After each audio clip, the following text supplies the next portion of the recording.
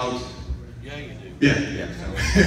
I am really about the sparring partner in training. I don't look at it as a workout in the normal term. Today we're going to go in and do bench press, uh, three sets of eight, and then go some inclines and flies. Then we're done. Maybe a superset at the end.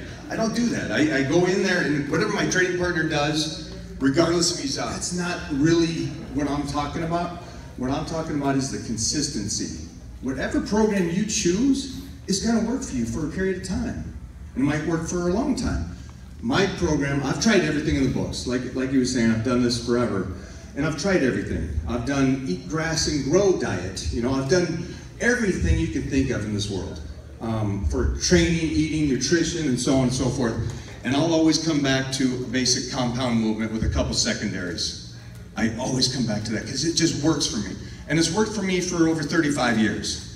It's kept me injury free for 35 years. So it's one of those things that I, I believe truly, and again, it goes down to the person individually. I believe in lifting as heavy as you can for as many reps as you can at that time. Every day is 100% in the gym. I don't go, uh, I don't give my body a break in the sense of a nervous system. Um, I refuel every day like Wolverine. Weakest body parts first, because you're as good as your weakest body part or as your weakest lift. So try to bring everything up. Does that make sense? So don't prioritize it with what everybody else does. I don't have to ever train can see the day in and day out. If, if, I go around, I travel the world, and I ask people, and this confuses me, but I understand that I'm a little different because I've been doing this so long.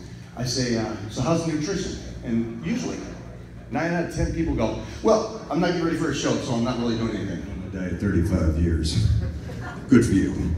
You know, but it just day in and day out. Next thing you know, you're a year into it and you're winning shows, and that's all of us. All of us can do this. And no age is a factor. It's not because of his physique. Never was for me. I, I, saw him and I thought, superhero, yes. Greatest physique? No. No, I, I, I like Ryder Robinson's physique, or like to me, Flex Wheeler has the greatest physique ever. But it's what he does and the passion he has and the life he's created off of just believing 100% in who we went to town with him. Or Chris Gethin um, yesterday. It was like, it's somebody I respect and somebody that's doing something. It's really, you know, this industry is about knowing that one thing about you that's different than anybody else. And if you want to be a success in this business, the least amount of work, but still changing your body.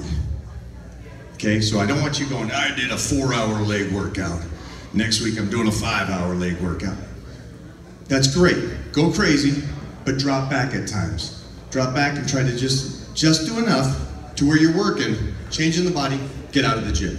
So there's gonna be those times where you wanna be barbaric, be smart. This man is prepared 366. One more day of the year than it has. Always prepared. Look at the Titan. My man Michael O'Hearn. Applause.